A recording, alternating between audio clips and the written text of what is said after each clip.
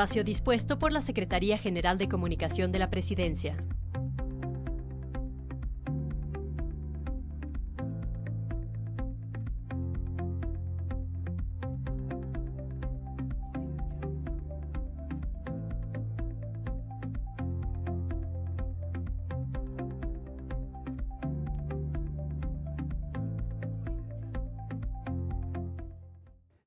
Saludos cordiales, bienvenidos todos a esta cadena nacional dispuesta por la Secretaría General de Comunicación de la Presidencia de la República, espacio en el que las autoridades informarán el trabajo cumplido por el Gobierno Nacional frente a la emergencia sanitaria. Esta tarde nos acompañan la ministra de Gobierno, la doctora María Paula Romo, y también el ministro de Salud Pública de nuestro país, el doctor Juan Carlos Ceballos, a quien damos la, la bienvenida en este espacio de cadena nacional. Arrancamos con la ministra de Gobierno, la doctora María Paula Romo. Buenas tardes. Buenas tardes, Fabricio. Muchas gracias. Hemos tenido eh, en este día, hasta hace pocos minutos, la reunión del COE Nacional. Como ustedes saben, el COE ha pasado a reunirse tres veces por semana en lugar de todos los días. Hemos analizado algunos pedidos provenientes sobre todo de alcaldes, alcaldías que van modificando ya las actividades en sus cantones. Quisiera pedirle al ministro Ceballos que empiece él con las cifras y yo de inmediato comentaré algunos pedidos que tienen que ver ya con las regulaciones de municipios y actividades laborales, productivas, económicas. Ese me parece el orden para esta intervención, Fabricio, así que pasemos por favor con el ministro Ceballos. De acuerdo, ministra, muchas gracias. Buenas tardes, muy ministro, buenas por tardes, favor. eh, eh, Fabricio, muy buenas tardes con los medios de comunicación y con todos ustedes ecuatorianos. Inicio mi intervención dándoles a conocer la situación nacional por COVID-19 correspondiente al día de hoy, 8 de mayo. Si por favor pudieran eh, poner la, el resumen de la infografía.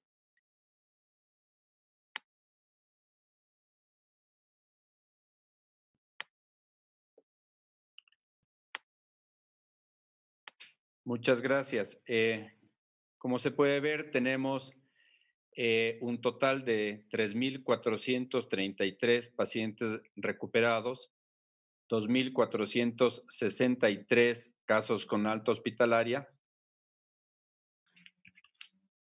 Tenemos 6.854 con alta epidemiológica, 32.242 de casos descartados, un total de 28.818 de casos confirmados y desafortunadamente 1.704 personas fallecidas.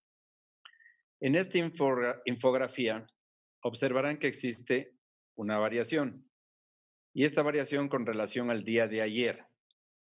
En la variable relacionada con los datos confirmados y me permito, una vez más, explicarles el por qué. Por las necesidades de la emergencia de COVID-19, el Ministerio de Salud Pública, conjuntamente con el apoyo técnico del Ministerio de Telecomunicaciones, hizo un gran esfuerzo para migrar de una herramienta de más de 10 años de antigüedad con la que contábamos a un nuevo aplicativo que permite integrar la información del BIEPI, esto es, el Sistema de Vigilancia de Salud Pública y el INSPI que es del Instituto Nacional de Investigaciones de Salud Pública. Esta integración va a permitir que los hospitales y los laboratorios ingresen a la página web y registren de manera directa los resultados de las pruebas. Además, los médicos tendrán la posibilidad de ingresar al sistema y obtener la información pertinente para el seguimiento de sus pacientes. En la plataforma anterior, la información de BIEPI e INSPI se integraban de forma manual mediante archivos de Excel. No existía validación de datos con el registro civil, lo que en varias ocasiones generó muchos errores. El actual sistema elimina estas inconsistencias en los registros al reclasificar a las personas por su cédula de identidad y no por el número de pruebas que se han realizado. En otras palabras, la data es procesada por el número de casos y el número de pruebas o muestras está atado a cada persona. Quiero ser muy claro. En un aspecto que es fundamental, a nivel nacional, los históricos de las cifras nos muestran que se mantiene una meseta con tendencia a la estabilización. siempre usando el concepto de fecha de inicio de síntomas como el elemento que brinda mayor certeza para la construcción de la curva, a partir de los casos detectados oportunamente en la temporalidad de la epidemia. El registro de la información en el contexto de una epidemia es y debe ser dinámico, veraz. Por ejemplo, se incorporan nuevos recursos diagnósticos y es absolutamente necesario redefinir qué constituye un caso positivo, cómo se integran los resultados del laboratorio y de qué manera se realiza la clasificación final de cada uno de los casos. Con esta explicación técnica queda claro que las puestas de funcionamiento del aplicativo para las cifras que estamos publicando el día de hoy evidencia una nueva reclasificación y depuración de la data lo que se refleja en la infografía nacional cuando los casos confirmados se reducen en 1.480 en relación al registro del día de ayer. Como he manifestado, el ajuste se debe a que los casos procesados, según el número de cédula del ciudadano y no por el número de pruebas que se han realizado, las dos o tres más muestras pertenecen a una sola persona que constituye un solo caso. De igual manera, también a nivel provincial se reflejan ajustes en la data. De manera particular, para los presidentes de los COEs provinciales y cantonales se ha previsto un mecanismo para responder solicitudes específicas sobre información o requerimientos a nivel local. Tres funcionarios del Ministerio de Salud Pública estarán dedicados exclusivamente a brindar todo el apoyo a los diversos centros de operaciones de emergencia del país. Con esto concluyo acá. Les deseo muy buenas tardes. Muy gentil, muchas gracias, ministro. Gracias por la explicación. La ministra de Gobierno, María Paula Romo, con más información.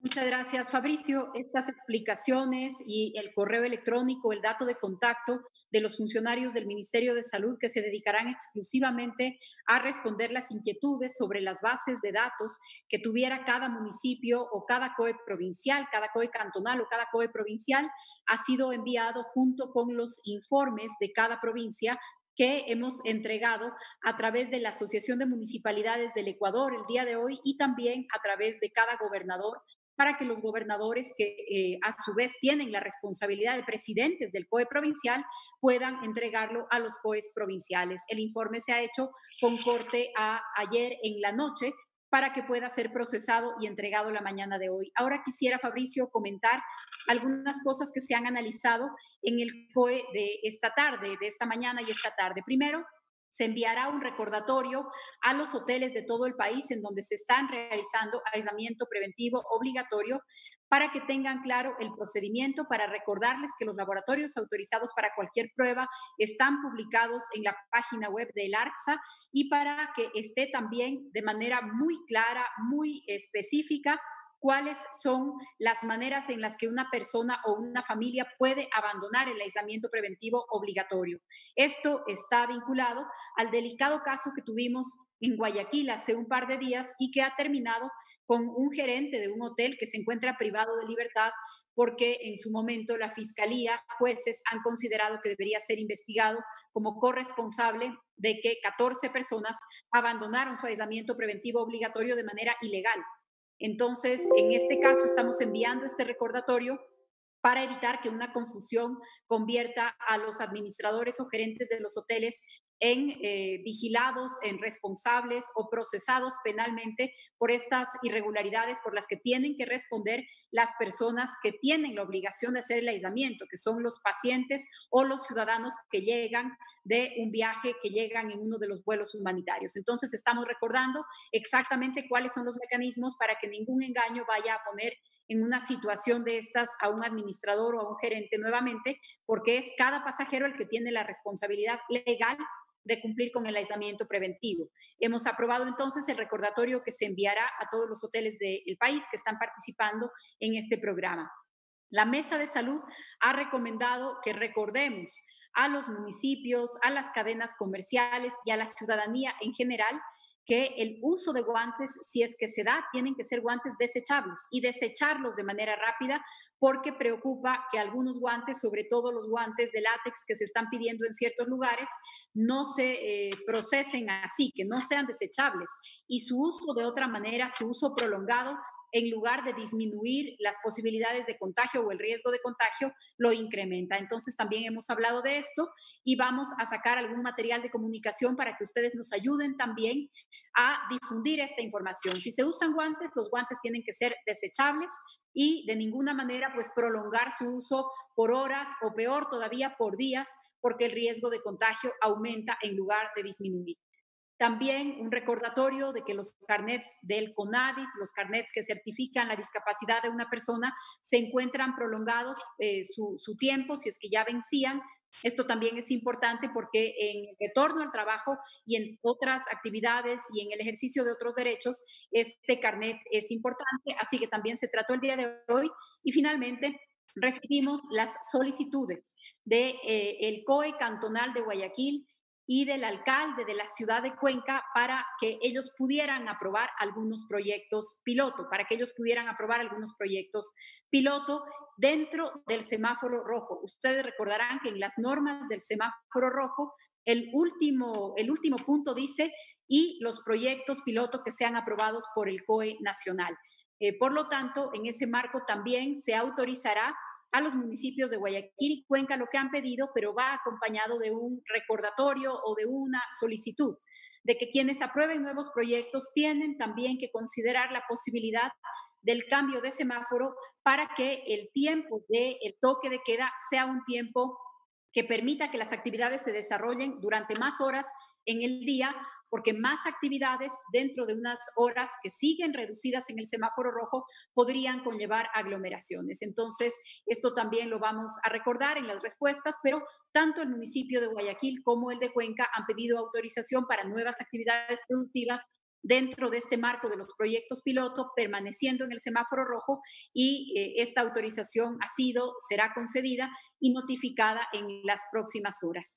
Hemos revisado también los protocolos o vamos a trasladar a las mesas correspondientes los protocolos que hemos recibido, protocolos que tienen que ver, por ejemplo, con el tema de la apertura de templos o con el tema de eh, los centros comerciales. Estos protocolos van a ser revisados por las mesas técnicas, pero quiero ser muy clara, no significa que se autoriza su apertura, no significa que se autoriza su operación, porque eso está vinculado al color del semáforo. No es que hay una autorización para estas actividades. También hace algunas horas se ha publicado una nota que dice se preparan los protocolos para el tema de restaurantes. En todas las actividades se preparan protocolos. Esto no significa que son actividades autorizadas. Por favor, remitirse a este mecanismo del semáforo en cada cantón, que es el mecanismo que está vigente. Esa sería mi información, Fabricio, para que podamos terminar con la rueda, de, más bien dicho, terminar con la cadena nacional para dar paso a la rueda de prensa y responder inquietudes de los comunicadores que nos acompañan. Claro que sí, ministra. Muchas gracias por la información. Solamente una precisión eh, sobre estas solicitudes de las alcaldías de Guayaquil y de la ciudad de Cuenca en cuanto a los, a los proyectos pilotos. ¿En qué ámbito se ha solicitado? ¿Cuándo se podría entregar esta autorización? En el caso de Guayaquil, se solicita autorización para implementar proyectos piloto en el eh, área, en la industria automotriz y en la industria de la construcción. Y en el caso de Cuenca, en el parque industrial. Y las autorizaciones van a ser remitidas esta tarde con algunas observaciones, pero esta misma tarde, de tal manera que pudieran empezar a trabajar el día lunes siguiendo los protocolos que se han recomendado y, por supuesto, bajo la conducción de medidas muy estrictas en este mapa, en este, en este marco de proyectos piloto. Muchas gracias, ministra, por la información compartida en esta cadena nacional. También agradecemos al ministro de Salud, Juan Carlos Ceballos, por ofrecernos la actualización de las cifras relacionadas a la emergencia sanitaria. Estamos cerrando esta cadena nacional. Antes, recordarles que a través de la señal de Ecuador TV, Canal 7 a nivel nacional, retransmitiremos parte de la rueda de prensa virtual en la que participarán las autoridades que han participado también en esta cadena nacional para responder a inquietudes de varios periodistas desde distintos puntos del país. Que tengan una buena tarde.